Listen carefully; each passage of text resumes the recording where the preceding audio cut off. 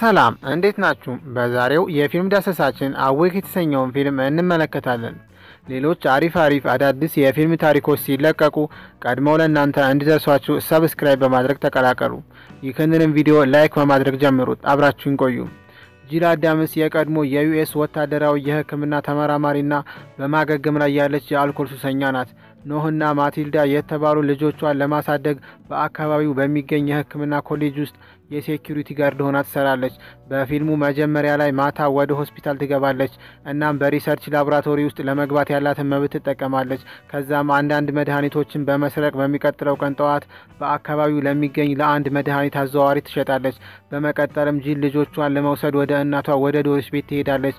ጂል በፊት የአደንዛዥ እጽ ትጠቀም ስለነበረ ኖህና ማቲልዳ በአሁኑ ጊዜ በአያታቸው በዶሪስ ቤት ይውላሉ።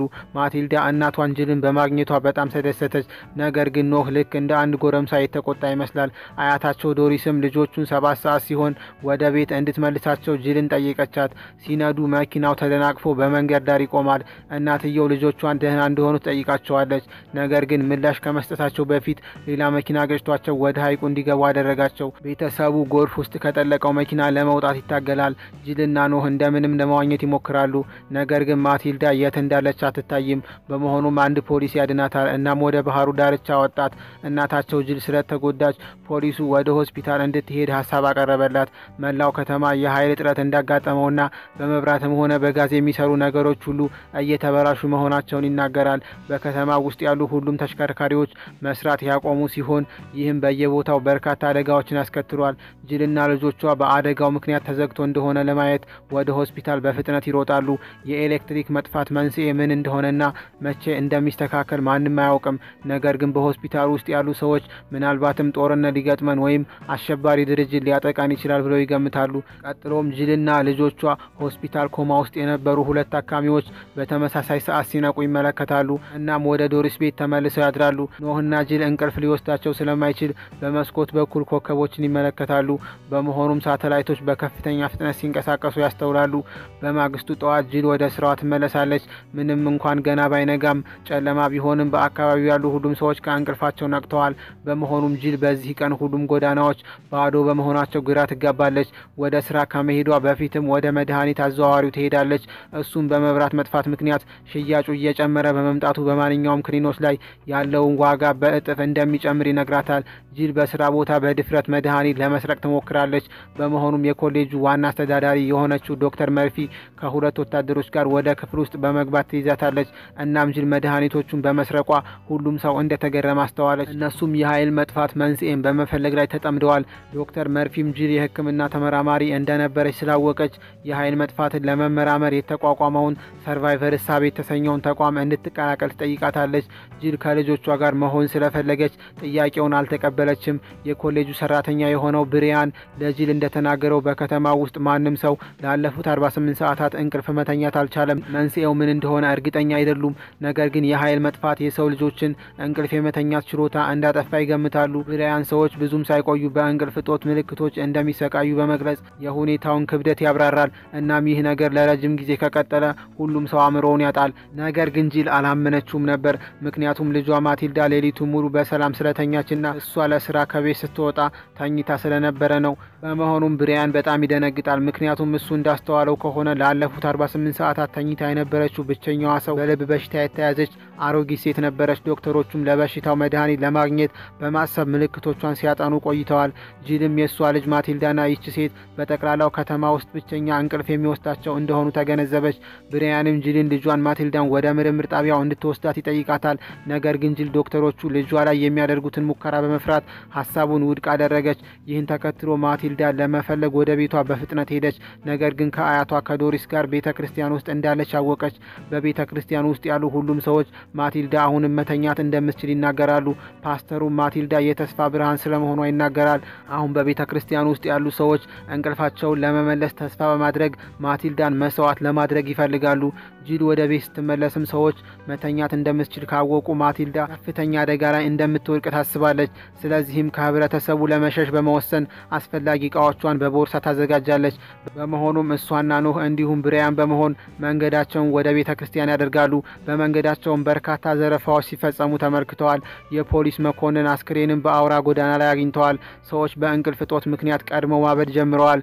ጂል በመጨረሻ ቤተ ክርስቲያን ደረሰች። እናም ህዝቡ ማቲልዳን መስዋዕት ማድረግ እንዳለባቸው ሲወያዩ ትሰማለች። ብሪያን ሰዎች ወደ ምርምር ጣቢያው እንድትሄድና ሳይንቲስቶች ፈውስ እንድታገኝ እንዲረዷት ለማሳመን ቢሞክርም የልጅቷን መስዋዕት መደረግ የሚፈልግ አንድ የፖሊስ አባል ተኩሶ ገደለው። ሁሉም ተደናግጠው መሮጥ ይጀምራሉ። በግርግሩ መሀል ጂል ልጆቿን ማግኘት ችላለች። እናም ሶስቱም ተያይዘው በአቅራቢያው ወደሚገኝ ጫካ ሮጡ። ኖህም እናቱን ጂልን ወደ ምርምር ጣቢያው እንድትሄድ አሳመናት። ምክንያቱም ምናልባት እሱና ጂል ቢሞቱ ሰዎች ማቲልዳን ይገሏታል ብሎ ስላሰበ ነበር።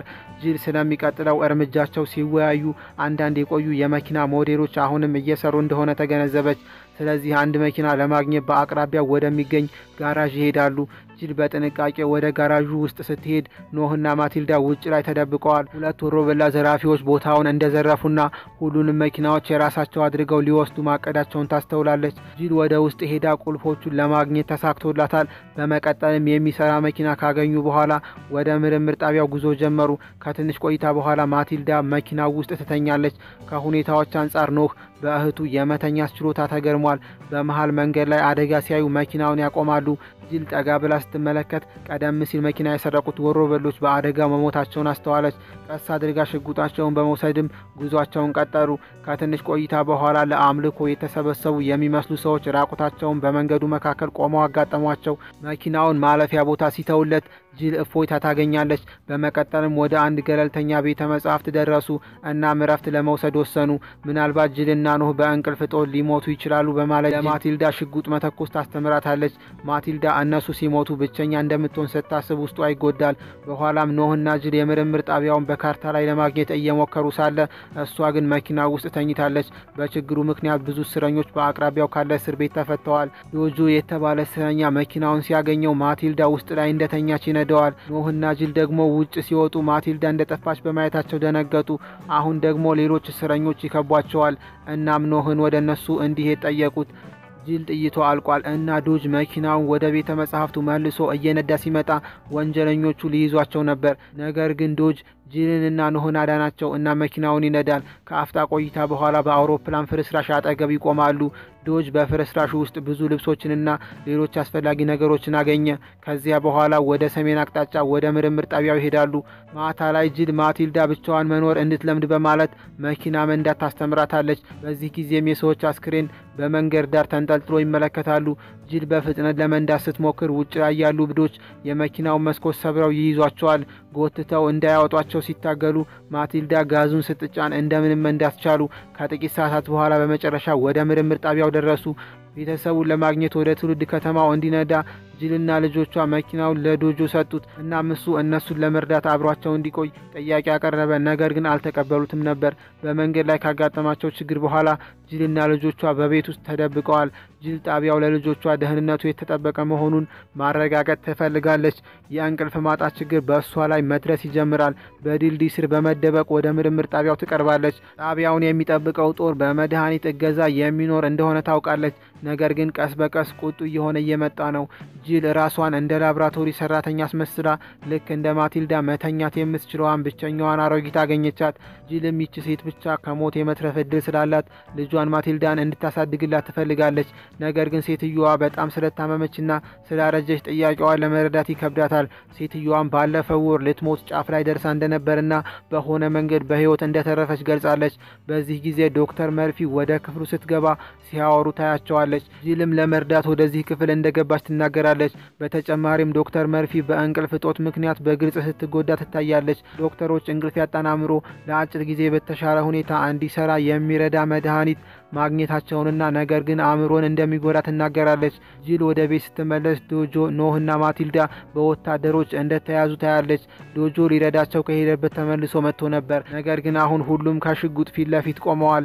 ማቲልዳም ሕይወታቸውን ለማዳን ስትል እንቅልፍ እንደሚወስዳትና መተኛት እንደምትችል እያለቀሰች በማመን ተናገረች። ከዚያም ወታደሮቹ ወደ ላብራቶሪ ይወስዷታል።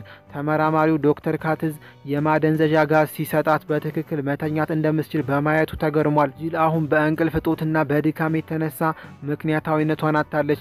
ዶክተር መርፊ ስለ ማቲልዳ አንዳንድ ጥያቄዎችን ትጠይቃታለች። ነገር ግን ጠንከር ያለ ሀሳብ ትሰጣለች። በመቀጠልም አሮጊቷ ሴት የልብ ድካም ውስጥ ስለገባች ሐኪሙ እሷን ለማዳን ሙከራ ቢያደርግም ሕይወቱ አለፈ። አሁን የሰው ልጆች እጣ ፋንታ በማቲልዳ እጅ ነው። ዶጆ እንደ ጣቢያው ጋርድ ስለተወሰደ ለስራ እንዲረዳው አነቃቂ መድኃኒት ይሰጠዋል። ይህ በእንዲህ እንዳለ ጅል ልጇ ኖህ ሊገድላት ሲሞክር ቅዠት የመሰለ ህልም ታያለች። በመቀጠልም ወታደር ከጎኗ የነበረውን ኖህን ሊወስደው ሲል ወደ አእምሮዋ ትመለሳለች። ጊዜው እየቆየ ሲመጣ በጣቢያ ውስጥ ያሉት ሁሉም ሰዎች የሕክምና ባልደረቦችና ወታደሮችን ጨምሮ አእምሯቸውን ማጣት ይጀምራሉ። እናም ወታደሮቹ ቅዠት ሲያጋጥማቸው በዙሪያቸው ያገኙት ሰው ላይ ሁሉ መተኮስ ይጀምራሉ። የሆነች ወታደር ጅልን ሳንድራ በማለት ትጠራታለች። እናም ልትገድላት ትሞክራለች። ከትንሽ ቆይታም በኋላ ይቺ ወታደር ራሷ ላይ በመተኮስ ራሷን ታጠፋለች። ከዚያም ሁሉም እርስ በርስ መገዳደል ይጀምራሉ። ጂል ማቲልዳን ለማዳን ትጣደፋለች። ነገር ግን ዶክተር መርፊ ታስቆማታለች። እናም ዶክተር መርፊ ዶክተር ካትዝ በሰጣት መድኃኒት ምክንያት ከጥቂት ሴኮንዶች በኋላ ሕይወቷ ሊያልፍ ችሏል። ጂል በመጨረሻ ማቲልዳን ነጻ አወጣቻት። በመቀጠልም ኖህን ለማዳን ሮጡ። እንዲሁ ደግሞ ኖህም እየቃዠ ነበር። አሳ ነው ብሎ ስላሰበ የኤሌክትሪክ ሽቦውን ይነካዋል። በመሆኑም በኤሌክትሪክ ይያዛል።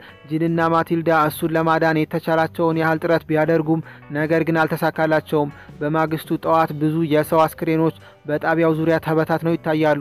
ከማቲልዳና ከጅል በስተቀር ሁሉም ሰው ሞቷል። ቢሆንም ጅል ገና በትክክለኛ ስሜቷ ውስጥ አይደለችም። እናም በቅርቡ በማንኛውም ሰዓት ልትሞት ትችላለች። በድንገትም ኖህ ከሞት ይነቃል። እናም ሁለቱ በመገረም እሱን በማግኘታቸው ይደሰታሉ። ኖህ ከከባድ እንቅልፍ የተመለሰ ይመስላል። በመሆኑም አሁን ጤናማ እንደሆነ ያስተውላሉ። ማቲልዳም ኖህ ልክ እንደሷ ሁሉ የመተኛ ችሎታ ሊኖረው እንደሚችል ትናገራለች። ምክንያቱም እሷ ያኔ በሐይቁ ውስጥ ሰጥማ በነበረበት ሰዓት በጊዜያዊነት ሞታ ነበር። እናም ኖህ በጊዜያዊነት ሞቶ ነበር የተነሳው። ልጆቹ እናታቸውን ለማዳን ሲሉ በአቅራቢያቸው ወደሚገኝ ሐይቅ ይወስዷታል።